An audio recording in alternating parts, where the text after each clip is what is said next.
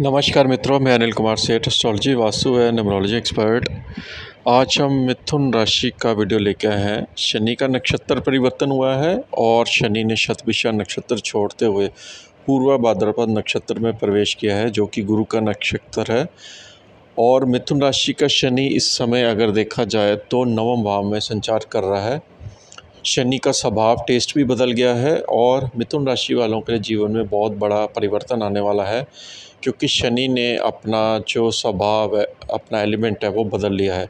सो so, सारे attributes यहाँ पर शनि के चेंज हो रहे हैं क्योंकि शनि शतभिषा राहु के नक्षत्र में था अब ये गुरु के नक्षत्र में है गुरु के साथ ये न्यूट्रल रहता है और गुरु की दो राशियाँ आपकी कुंडली की जो बनती हैं वो है सातवें घर की राशि है दशम स्थान की राशि है।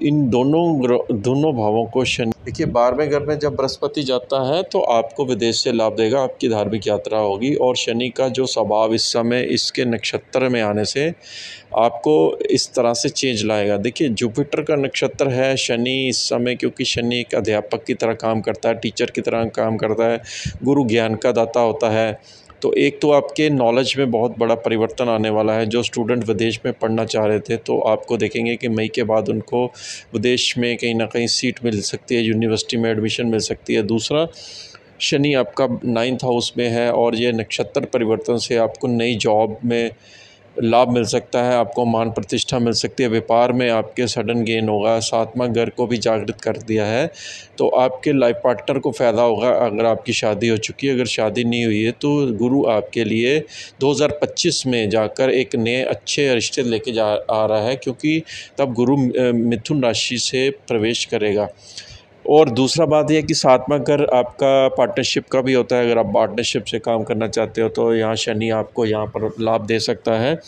सातवां घर होता है, हमारे डेली रूटीन वर्क का भी होता है डेली रूटीन वर्क से भी आपको फ़ायदा मिल सकता है। सातवें घर जो होता है, आपका जो आप एक्टिविटीज़ करते हो उसका जो आपको रिगार्ड मिलता है अप्रिशिएशन मिलता है, उसका भी कनेक्शन यहाँ होता है।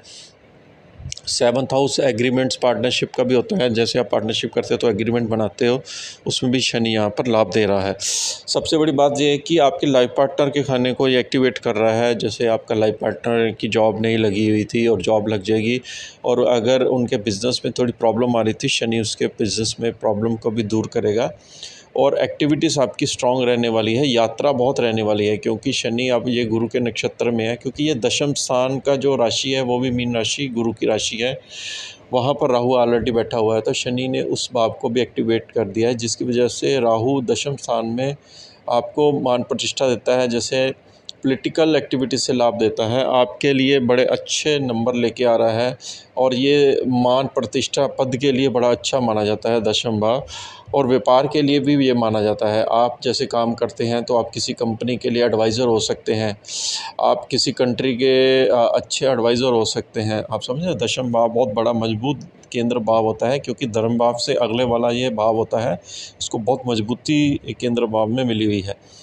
जो लोग इलेक्शन कर जीतते हैं, उनको जो उसके बाद केंद्र से जो डिपार्टमेंट मिलते हैं, वो भी दशम बाप से देखा जाता है, क्योंकि अगला बाप फाइनेंस का होता है। कंट्री के फाइनेंस का होता है, ये ये सब चीज़ें दशम भाव से देखी जा सकती हैं। आप समझ सकते हो कि उस सातवां घर, आठवां आठवां घर जो है, शनि का अपना घर है, उसको भी एक्टिवेट शनि ने किया हुआ है क्योंकि आपके जो पैतृक संपत्ति है, ससुराल से लाभ है, वो भी आपको शनि यहाँ पर दे रहा है। ये चार भाव आपके एक साथ में एक्टिवेट हो रहे हैं, सातवां, आठवां, नौवां भार दसवां घर।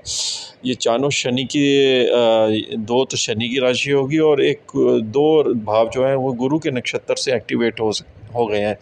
आप समझ सकते हो कि अगर आप जैसे प्रोडक्शन मैनेजर हैं, कोई आईटी प्रोफेशनल है तो आठवें घर से देखा जाता है। आप कोई ऐसी एक्टिविटीज़ करते हैं रिसर्च का काम करते हैं, वो आठवें घर से देखा जाता है। तो साइंटिस्ट है, वो भी आठवें घर से देखा जाता है। हालाँकि टेक्नोलॉजी से भी रिलेटेड आठवां घर होता है, क्योंकि वो भी रिसर्च का एक डिपार्टमेंट आता है। तो आप समझ सकते हो कि इन भावों के द्वारा आपको बहुत अच्छे लाभ शनि यहाँ पर दे रहा है, क्योंकि शनि आपका एक तो भाग्य का भी लोड है और आठवें घर का भी लोड है। तो आपको वीडियो ये कैसी रहेगी ज़रूर बताइए, इसके साथ ही हम आपसे आगे लेते हैं। नमस्कार।